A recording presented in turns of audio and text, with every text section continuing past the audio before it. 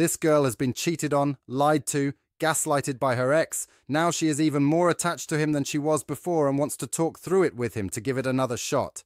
Blaise Pascal said, Love has reasons which reason cannot understand.